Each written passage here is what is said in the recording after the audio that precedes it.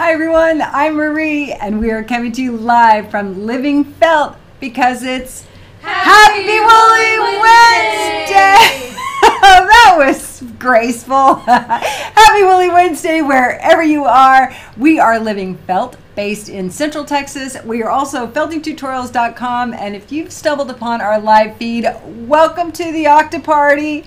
Today, we are having an Octo Party celebrating this fantastic project brought to us by Helen Russell the artist, the designer of the octopuses and octopodes, as she calls them. So many colors to make, such a fun project. She is here with us today, so you'll get to know more about her, see more of her artwork, as well as her octopodes, and just learn a little bit more about the designer of this project. So thank you so much for being here.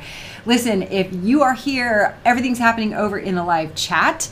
Be sure to say hi and where you're from. And also, if you have made your own octopus from Kellen's from Helen's project, please let us hear from you in the feed because we are going to draw names for prizes during today's show. Thank you everyone for being here. Uh, to help kick us off, let's start by saying hi to some folks. Let me see who's here. I have seen some of you check in. There's Jan Scott from Ottawa. Always nice to have you here. Diane Bubbolts, Nicola Moore from the UK. Marisol, we don't know where you are, but thank you for coming. Joan in Tennessee. Uh, we have Trisha in Scotland. Wow, that's fantastic. Donna in California. Um, Bonnie Roberts is here, Susan Morris, Donna Munninger. Thank you all for being here. Happy Wednesday wherever you are. So say hi and where you're from. And to help kick us off today, we have our very funny fairy in the field, Fairy Kayla. Hello, fabulous felting friends. I hope you are having a great day and a very happy Woolly Wednesday. Thanks so much for joining us today, everybody. We have a super awesome, super fun show planned today, so I don't want to hold you up any longer, even though I know you all show up for the jokes. so, without further ado, what do you call octopus twins? What do you call octopus twins? Well, I guess they would be I tentacle twins. Thank you so much, everybody. Have fun today, and we'll see you next time. Thanks, Kayla, and thanks everyone for putting up with a little bit of corniness. Kayla is the queen of puns around here. We've made it her official job. Thank you all for joining in. Listen, today's show is an Octo Party. As I mentioned, we are here today with Helen Russell, all the way from Staten Island, New York. She shared this project with us. So, everyone, please give a big BFF welcome to Helen. Helen, thank you so much for joining us today. Oh, it's very nice to be here. I see that you are wearing your octopus as well. I'm going to try and keep mine on throughout the. It probably won't stay on throughout the duration of the show. Everyone, this is Helen. Um, Helen designed this project and shared it in our group, Living Felt Friends. Jordan was queuing up some BFF show and tells, like we always share, and I saw this project and did virtual backflips. If I could have done backflips, I would have done backflips, but I did spiritual backflips when I saw your octopuses, octopodes. Helen, tell us how you came up with the name octopodes, because I have to force myself to say that one because it is everybody stumbles and they want to say octopi and they don't know if that's right if they say octopuses that sounds strange. So i looked up alternatives and there's a whole discussion about it on my octopus appreciation facebook group and people say because it's a greek word it's octopodes. Okay so i'll go with that.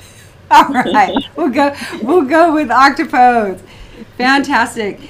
Now Helen, you shared that this project came to you when you did one of our Woolly Wednesday projects. Yeah, I did um, the little heart dangler. I love that. And I love the beachy theme you got going on yeah, there. The beach is my favorite place to be. So when I did this, had that in mind, got my little fish uh, beads, things like that. And I saw this at eye level in my living room when it was hanging, and I said, "Boy, that looks like an octopus arm." So I made. Oops, now that one left. I made this one. He's very really similar fun. technique to this in the same colors. Mhm. right? Yeah, that's. So, uh, well, they're joined. and this one I did without a resist. Right. And he's a little awkward looking, but he's got great texture. Yeah. He's and, uh, fantastic. So I decided to make it with a. You did the vessel, I think, the very next week. Oh, So I said, wait, the vessel would go perfectly for the top of the octopus. That's right. Yeah, I love how you've combined two very simple things making a cord, a type of cordage, and you have a way um, where you made it a little bigger at the top and tapered at the bottom, and we'll share that in a minute. And then joined it with a vessel. That's exactly it. It's a very simple project. So, for those of you who haven't made one yet, Helen has really come up with, I think, like I don't know, maybe it's like a level two wet felting project. So maybe you've made a basic piece of felt, even flat. You've learned how to handle fine fibers, in this case, merino top, and some embellishment fibers. Uh, and then maybe you've wet felted over a resist. But even if you haven't, they could give it a go, don't you think, Helen? Definitely. It's very forgiving because Mhm. the odd texture and the strange shape is what octopuses are all about. They they change their shape constantly and their they change their texture constantly at will. It's They change the color also. their color and their texture. Yeah, it's weird. Don't their colors change when they dream? That's what the theory is. I just posted that in my Facebook too on my You on did? my page that, that Nova or I think it was a Nova documentary that that filmed an octopus dreaming. Yeah, and she was We- changing colors. Yeah, we were talking about that with someone. He was here and we were sharing your octopodes with them and I don't even remember who was here. But anyway, we were all excited about it. Really, really fun. Helen, I'd like to um, show maybe some of your other art so that people can get an idea of you as an artist. And then, Jordan, why don't you cue those up for us? Sure. Tell you tell us a little bit about this piece, Helen. This was obviously, you know, uh, Monet inspired with the little, you know, greenish bridge and the water lilies. Um, I also like to watch painting tutorials when I'm eating my lunch, things like that. And there was a, a painting a painting tutorial on YouTube, a free one that was doing something like this, and I said, I bet I could follow that painting tutorial and help. And that's sort of how this came about. Yeah, it's fantastic. It's really beautiful. The water just looks like a mirror. Fantastic. yeah, that one was also um, another uh, tutorial that uh, really got me to understand darks and lights in water. That's for sure. Very pretty. I love all the colors in that. Oh, this is fun. This one was inspired because I, I won a Woolly Wednesday and I got the Maori cool tones. And I said, let's see if I can put them all into one piece. really fun. And then another idea that followed that one. Yeah. I love the shading in that. And this is one of my favorite of your pieces. Yeah, that's an early one that uh, just the tie dye felt behind it inspired me because it looked like water to me. Mm-hmm. And Those I would, I would love to have a koi pond.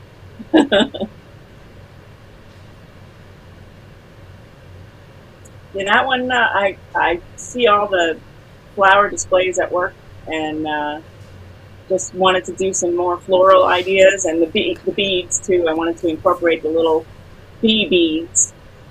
So fun. Now, so you were sharing that you work at Michael's in the framing department. hmm So do you get to see a lot of art come across your desk?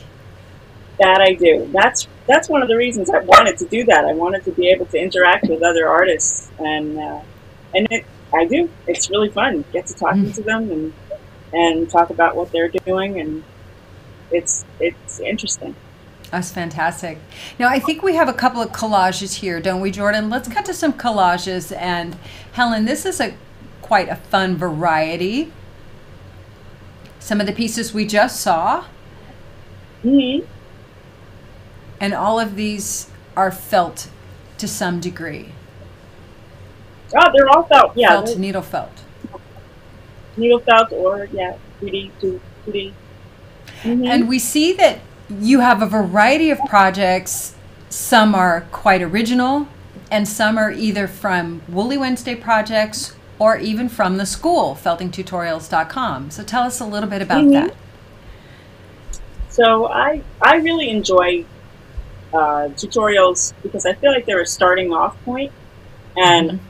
I can always learn from someone else. Someone's doing something differently than the way I do it. Mm-hmm. So I made a deal with myself to every time that I make take a tutorial, I make my own project based on the skills I've learned from that tutorial. And this way I don't feel like I don't do anything original. Right. I think that's so fantastic. And you, shared with us a project earlier um, that was a project completely different from a tutorial you took in the school. Do you yeah. have that handy? I do. So this okay, one I just so finished yesterday. Just and yesterday? Yes. Little more in front of you. There you go. Fantastic. Highland cow. Yes. Great perspective. I can show you the original photo, and I give Fran Kennedy, she's the photographer, I asked her for her permission to use this. Which is key. I left, oh, left fantastic. Yeah. Yeah, I definitely. That's so fun. So y'all don't copy it. She had permission from from her friend, photographer. But tell us, what was the class you took that led you to this? I took Sonia's uh, macaw class, Sonia Weeks Oswald, mm-hmm. and um, she had the technique of using the short fiber bat on the back as the base, and that mm-hmm. is what I did because I didn't want any other colors coming through other than what I wanted on the front, and that was right. that was my driving idea to get that really rich dark sky, and uh, not have other darks come where I didn't want them. Right, fantastic. Yeah, and a completely different class. The macaw is greens and leaves and a red or a blue bird, but sometimes one technique after another after another really starts to build your own internal library of tools to pull exactly. from. Mm-hmm. That's really fun, and I like the deal that you made with yourself as so as well. so tell us, um, would you tell us just a little bit about how your artistic journey was influenced or started, and maybe how that led you to felting as well? Um, my parents are both artists, as well as my sister, and um, my brother is a musician. So mm-hmm. we're all very creative people, and uh, we had unlimited supplies. My my father was an art teacher, a high school okay. art teacher, so nice. We had unlimited supplies in the house. I really thought that pencils were free. I thought you just got I got these Board of Ed pencils that I thought everyone had a house full of them. that's fantastic. And um, unlimited crayons. And so that's how I grew up with uh, constantly doing art projects. And my mother did a lot of sewing, a lot of doll making, and uh, she would have loved felting. Mm-hmm. And um, she's, she's no longer with us, but um, she a lot of my projects I think reflect her style, her taste, and um, I can see, even in my drawings, I see her drawings. You were influenced by her. Oh, a great deal. That's beautiful. And so, how did you come to felting? So I uh, focused on photography for most of my uh, life up till a few years ago and uh, when the pandemic came around was about the time I was tired of being a photographer anyway. So it didn't really make a big impact in my career because I was already coming out of that and I didn't know where I wanted to go, but I said, let me start painting again, let me start drawing again. And then I saw on Facebook needle felting and uh, the people that were doing it, I asked, where do you get your supplies? And they pointed me to you. No. So that's where that started. That's really sweet. And what was the first project you started with? My very first project And she has it. That's- was I have it, Ah. and I have that. It was the Fox, and I think he came out so good that I had him hanging in my dining room for forever, for Oh, at least a year. Yeah. that warms my heart so much. so fun. And you have such a So a real uh, um, confidence booster that it came out so well for my first project. That's so nice. So glad to hear that. Yeah. And we're so glad to then here you are now. I mean, obviously you're a very skilled artist. You you have a lot of understanding about light and shadow perspective like you can really convey that in your art and so then you discovered a new medium that you can play within share within and how long have you been felting now Uh, I think that was 2020. Yeah, that was the that was July Recent. of 2020. So mhm. Yeah, very recent. And so your other mediums are do you work in acrylics or oil? What kind of paint do you use? acrylic and watercolor Mhm. and uh, and pencil and marker and gel pen. Color. she likes color. Um, Helen, a couple of people are asking about the potential of wire in the tentacles, and you and I were discussing this uh, just a little bit before the show. So, what is your thoughts on putting wire in the tentacles? Somebody said, who was it? Jan Scott said it would make them clingier, like maybe they would hold on to something. And Nicola Moore asked, is there a way to put a wire in there? So, what are your thoughts about wiring up your octopodes? a few, um, maybe a month ago or so, maybe I posted on Facebook that I was thinking about putting a wire in, and some people warned me, oh, against rust for wet Oh. felting with a wire. And I said, hmm, maybe I don't want to risk that. So I didn't. But now I'm trying it. I actually started one, and uh, I'll let you know how it goes. But then um, somebody chimed in and said that they they do wet felt with wire and there's no problem. So Yeah, that's great. I think it was Joyce with the Joyce dragons. Haslerick.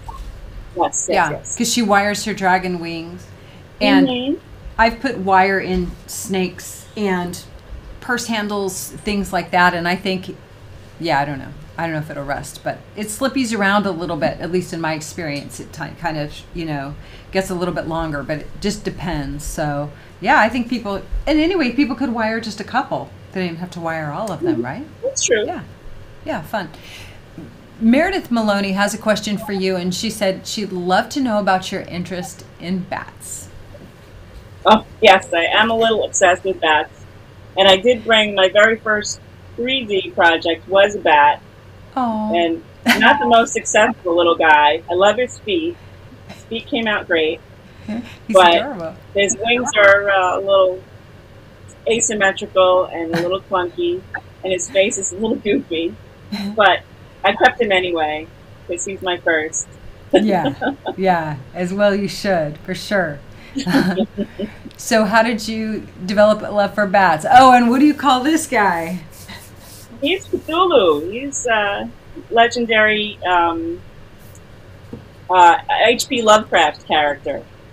And a friend of mine who is also a big fan of Lovecraft uh, asked me to do that for her. Really that beautiful. was a special request. really beautiful.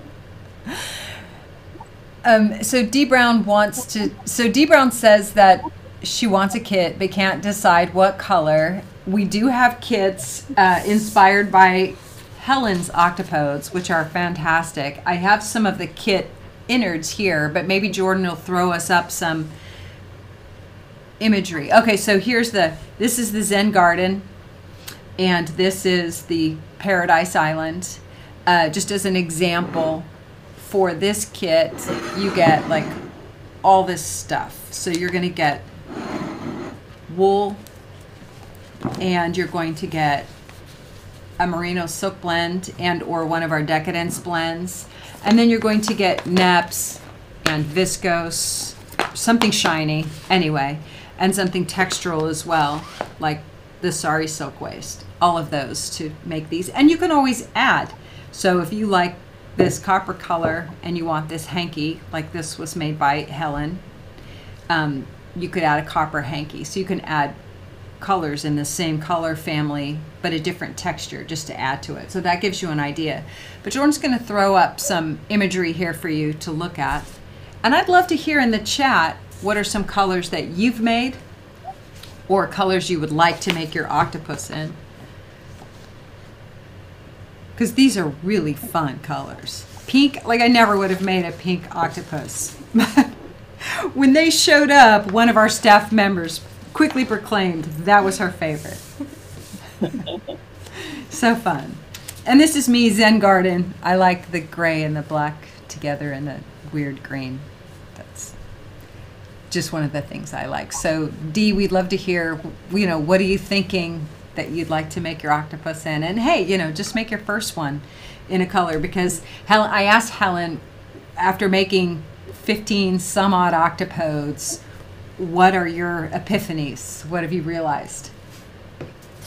I think the more you make, the easier they are to make, which I, is probably true for most projects. But this is such a fast project that you know you can make it in one morning, you know, and finish it the next day after it's dry, because it really only takes three hours tops to do the the arms and the body and get it all set up to dry. And then the next day you do the eyes, you know, right? It's, and stuff. Finish it's not. up. It's not a long project. Yeah. Right. It's not a long project. I think this is great for beginners. I think it'd be a blast for kids or like a mom and kids project. So maybe Definitely. the kids are just learning and they can make the tentacles and mom can help with the body and the bringing them all together. And those are just such fun colors, Helen. So great. Um, in fact, we have some BFF octopodes that y'all have made from Helen's kit or Helen's sharing of the project. So let's look at some of those. Very dramatic, Wendy. Just a beautiful piece and well photographed, don't you think? Mm-hmm. Looks really good. I love this one. bow tie. nice job on the bow tie. Very cute. So darling. And the Angelina and the tentacles, guaranteed sparkly hair effect. so cute. Faye! I love it. Faye Very made two. Oh, fantastic. Very cutely photographed too. I love these guys in their natural environment. So sweet. A little bit different. I think this was a how do I make an octopus from scraps, which is fantastic. Just eh, bringing all these colors together. So fun. And this one became a purse. Very clever. Using what she learned probably from your techniques, Helen, and turn it into something completely else. So fun. Very sweet. That's a pretty purple, isn't it? It's like a Lakers octopus. so fun. We love seeing what y'all make. The octopus kits have been really popular. All you have to do is click a button to choose whichever color you want. Are you making any more octopodes, Helen? Yeah, I actually have somebody deciding what colors they want. There's uh, two in the request bin at this point. Very nice. I have made Now- a few more that, that I, as soon as I made them, I had to send them out. Oh, that's so So nice. Now, do you sell through your Facebook page or how do you sell your artwork? Uh, actually, on my Instagram, people have been just contacting me via message, and uh, it's been going that way so far. I might open an Etsy. We'll see. We'll see. So let's throw up her tag. We don't know what it is, Helen. What's your Well, I actually just changed my Instagram to HR Thousand stuff instead of HR Photo stuff. HR Felton stuff? So is it F E L T N stuff? Mm-hmm. mm-hmm. HR Felton stuff. Very cute. So y'all check that out. We'll throw it up in the description down below so that you can follow Helen. Please do. And um, yeah, because on your regular website, there's a tons of art, different mediums, lots of photography. Very inspiring, all of it for sure. Okay, so Devin says that she wants to make one as a Christmas tree topper. I love that. That sounds great. We have some names in the hat here. George's been writing down names, and we are going to give away an octopus kit right now. Uh, so you'll get to choose your colors. I, I'm going to close my eyes and pretend that my hand is Helen's hand. And Helen, you, Helen, you can draw the name, okay? Y'all all can read it. Okay, I won't even look. There it is. Laura Buckles. Laura Buckles, congratulations, Laura. You have won an octopus kit. This fun project designed by Helen Russell, our guest today, and you can pick any colorway you want. So go to the contact us page and let us know what your choice is, and the fairies will get it sent out to you. So congratulations, so fun. Okay, what else do we want to share, Jordan? We have some more BFF octopuses. Okay, Not not specifically made after Helen's, but just to have fun with the octoparty. Just, it's an octoparty. So bring your octopodes, and Jordan's got some more to share. Look at that. It's fantastic. Wow. So cool. Here's a little needle felted guy with some kind of suckers attached. Huh. Clay or something? Very Yeah, clever. or beads or something. I can't read the names, so y'all Julie read them. Christensen King. Oh, I can move this. So cute. I love how it's sort of in its setting there. This one's made by Fairy Kayla. Fairy Kayla, yay! Fantastic needle felted octopus. All those tentacles, that took time. All the suckers. Joanne Strategos, the maker of the Living Felt BFF mug. Very fantastic. Beautiful pieces. Oh, that's fun. Linda. Blue on blue. It works. Totally, yeah. Oh, wow. This rainbow guy is amazing. So it looks like she made little Milfior and cut it, right?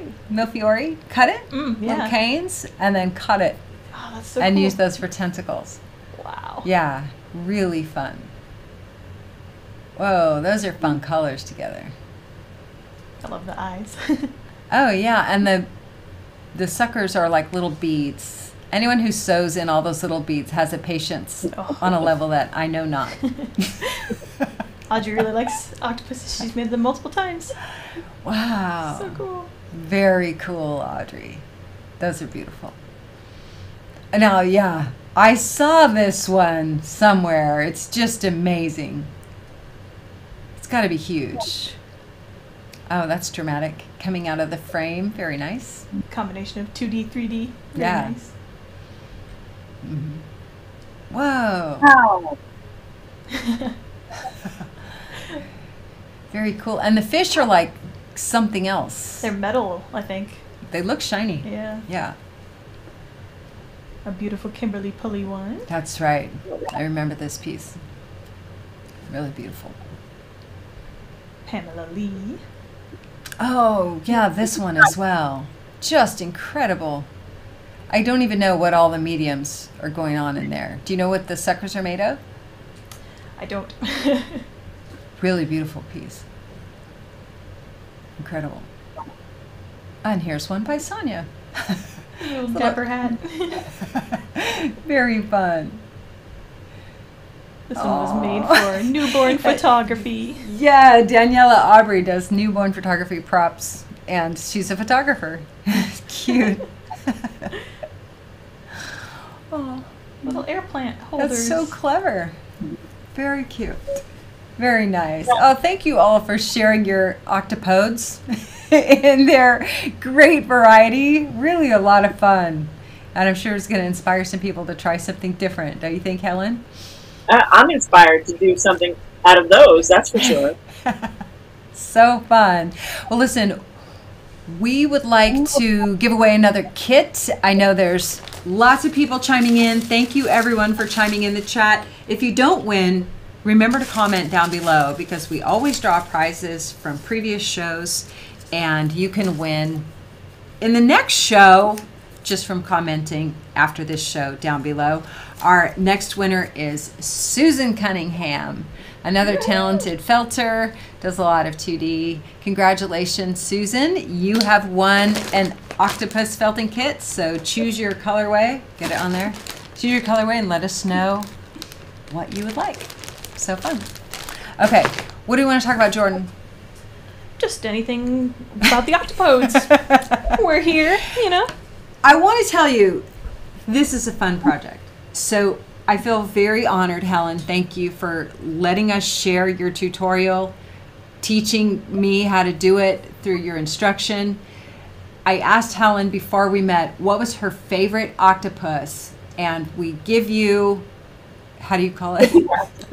Big octopus. Big octopus. Yeah. okay, so tell us about Big octopus and uh, Jordan. Throw up the very pretty image you have there. Big octopus. That's the, that's the properly photographed one. yeah, I, I, I like morphing different animals, and uh, I love peacocks. They're really hard to draw. They're really hard to paint. I'm trying, but I said, let me make one uh, with an octopus and I think it worked out pretty well. Oh, yes. You definitely did it justice. Okay, so you like octopuses, bats, and peacocks. And hummingbirds. What else? And what? and hummingbirds. And, and hummingbirds. Okay, these are these are your big critter crushes. Oh, mm-hmm. I love it. Well, it's so fun. This is a fantastic summer project. I know our BFFs have been sharing tons of things in our Facebook group. I think Jordan's going to run us through some quick. Did you have some other photos, Jordan? Sure. Just some summer fun kind of ones. Jordan's going to click us through some quick BFF makes that y'all have shared. We love seeing them. Oh, I'm saying the Pledge of Allegiance now. Very nice. We just had the fourth, so everyone gets really patriotic. Oh, that's a fun view. Very nice. And you see the original picture. So sweet. Uh, that's a happy guy right there. Something about this one is just so special. Oh, yeah. Yeah, I really love the sh- sheen on that beach ball, especially. Mm-hmm. So good. Lots of fun beachscapes. It's beautiful. Oh, those are pretty fish. I like the perspective. Some mer gnomes. it's so cute. Got an aqua vessel. Oh yeah. So if you want to make that vessel, take Dawn's woodsy vessel class to get the techniques mm-hmm, in the school. Oh, that's pretty. That's it feels like you're underwater. Mm-hmm. Dolphin. I, I love that one. Mm-hmm. Really great perspective. Oh, sweet. And this is a wet felted starfish over a resist. Wow. Yeah. Sizable too. Yeah. Oh, in the wave, right in the curl, you might say. Very nice. Memory Bradley. And this really pretty one by Ingrid Bagley, who says this is still a work in progress. So much texture going on in there. And I think you really need to if you're going to do a coral reef underneath. You got to have texture and variety. So fun. And then we have a few of our uh, fairy boxes. Oh. Some pictures from those. So this we have May. blend boxes that are a subscription box. Um, they vary each month. It's mostly fine fibers and then other fun tchotchkes and sometimes things we don't even carry in the shop. Like last month, Everyone got a CD from my husband, Rodney Jean. Um, so really fun. And right now, the next box that people will be buying is September. We haven't even put up the inspiration image yet, but there's a different box every month. Hint September. hint. anyway, the subscription boxes are available. Like I said, they're mostly fine fibers, and what we do is we gather a collection of images that represent the colors you'll get. So you basically have to buy a mystery box based on the color theme, and then it's a surprise inside. So you only get to see what's in a box after people have received them. Really fun. And you can buy one offs or you can buy the subscription. So thanks for sharing those, Jordan. Super mm-hmm. fun. Well, I've had really fun with the Octopode party. Octopode party? Octoparty. Octoparty. we look forward to seeing more of your octopuses. And you got to follow Helen at Helen. I didn't write it down. HR Feltn stuff on Instagram. Mm-hmm. And if you make an octopus, please share it in our group, Living Felt Friends on Facebook. We want to see them. Uh, share them with Helen as well. You can follow her on Facebook as well. And we're going to be back next week, aren't we, Jordan? Not as a live. No. Are we just back? a regular, mm-hmm. regular show with Kimberly. Okay, right. So next week show is not live, but there will be a Woolly Wednesday. There's going to be some weeks where there's no show. Next week is a Woolly Wednesday. My guest is Kimberly Czar. She was in the studio filming a new tutorial. I'm not going to tell you what it is today, but you might have a hint next week if you watch. And we are going to really help you with the importance and value of getting a firm needle felt. So we'll work together on that one and y'all come back next week. Please leave your comments down below and a little love for Helen Russell of HR Feltn Stuff down below so that she can read all of your lovely BFF comments after the show today. Helen, thank you for joining us. Thank you. And thanks for sharing your project. A lot of people are having fun because you shared this so freely and we're super grateful. Great. I'm so happy. Cool, cool. All right, you guys. Have a great rest of your week, and we'll see you in the group. Till next time. Bye.